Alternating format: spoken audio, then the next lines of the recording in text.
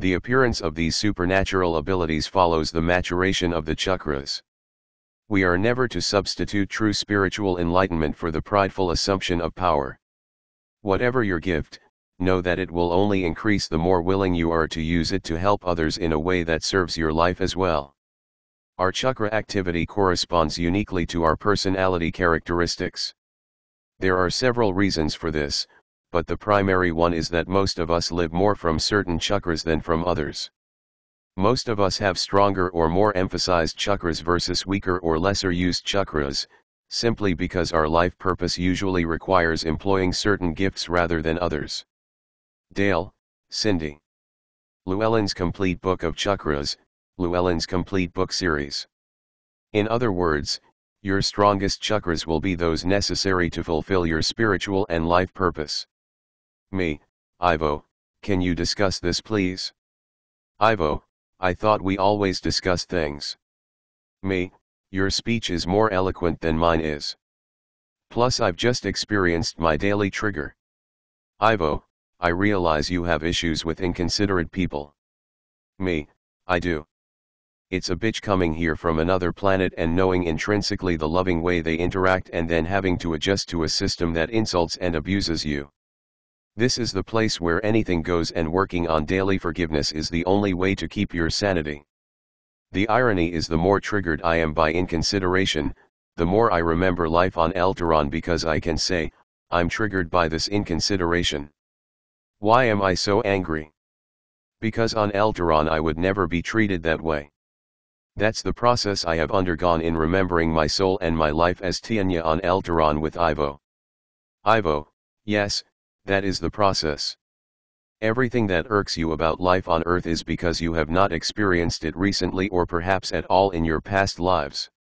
The way to remember your soul is to stop being insulted or feeling abused, neglected, or other, because your soul would not feel this way. For those who are in situations that threaten them physically, or the emotional abuse is too much to bear, this is counterproductive so we still recommend you leave for safety's sake. Me, so there you go, folks. We just told you how to remember your soul and your past life. Look at your expectations of self and others, and to remember your soul it's still the same, leave the ego behind. All of this is about reconnection of you to your higher aspects. Ivo, very well, I will discuss these points. The appearance of these supernatural abilities follow the maturation of the chakras. Yes, this is true. All of you want to understand what your life's mission is. When your chakras have matured to the level that they are functioning within a reasonable semblance of balance, then you will understand your life's mission. Many of you do not understand the power of attraction. The power of attraction asks you, what do you want to do? and in answering that question, you may very well embark upon the road to fulfilling your life's dream, your mission. Some of you do not realize that it is too early to fulfill or to begin working on your mission in any meaningful way because the circumstances are not ripe yet to allow you to begin this work. Your service is more futuristic. It is not the world yet to be able to manifest your primary mission in. Yes, Sharon will not allow me to call it a job because many of you have an idea of what a job is and it does differ from being of service. In your jobs you are allowed to kill and fry animals, for example, you are allowed to insert needles into patients, cut people open, and drill out their teeth. In doing service, you will not be allowed these abominations. Me, yeah, we've never told anyone that their mission is to be a dentist. Ivo, no. We have not. However, in preparation for doing your mission, perhaps you might take on any volunteer position, whether it is one of your own making or with an organization. Then you learn the fundamentals of being of service and this will give you the opportunity to do so. The chakra maturation process has to do with working through daily issues that come before you. You are capable of attracting the lessons you need in order to mature your chakras.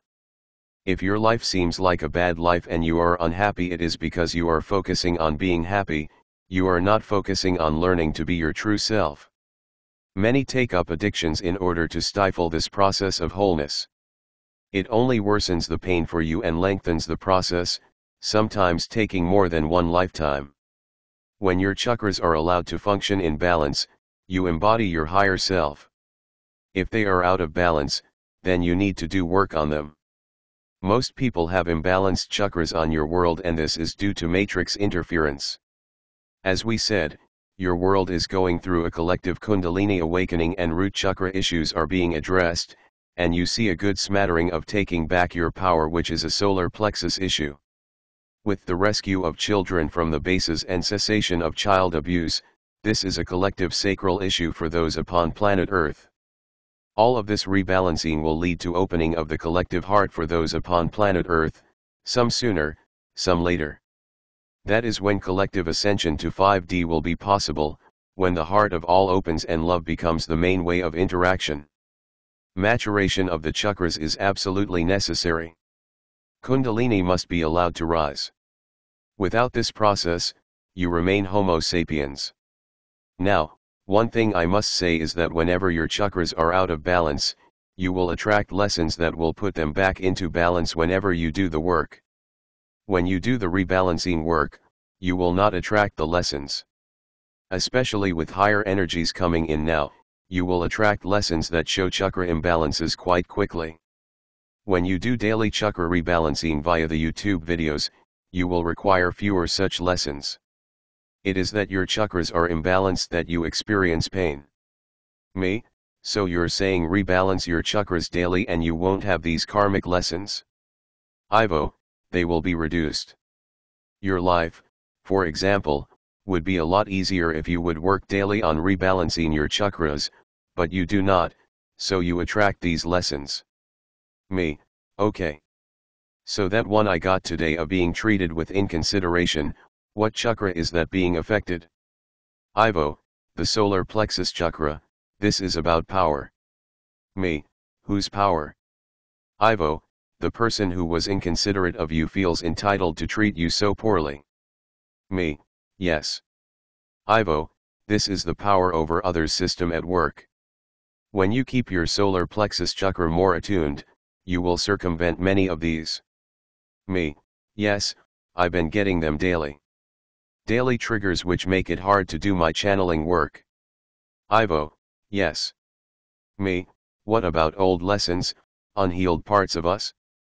Ivo, you can still work through them by watching your own thoughts.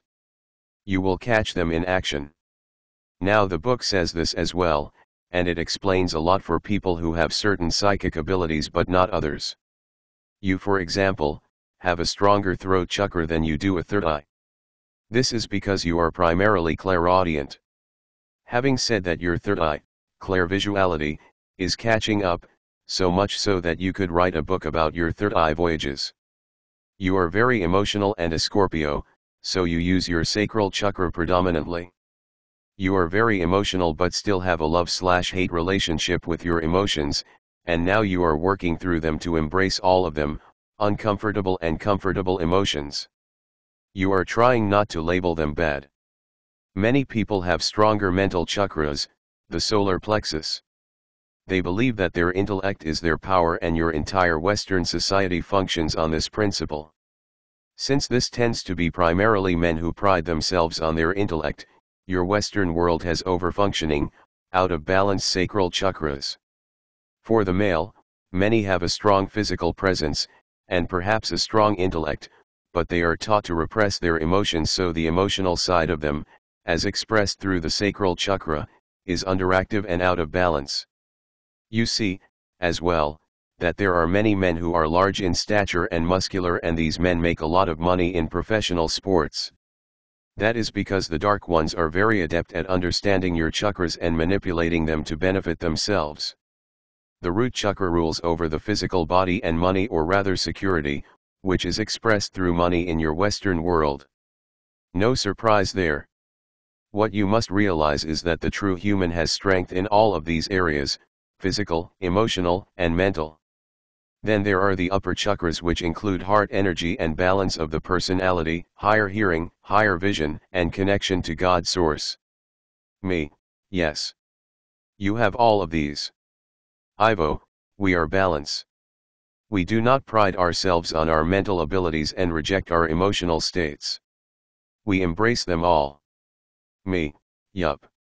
Ivo, your life purpose does require stronger chakras than others at this point in time.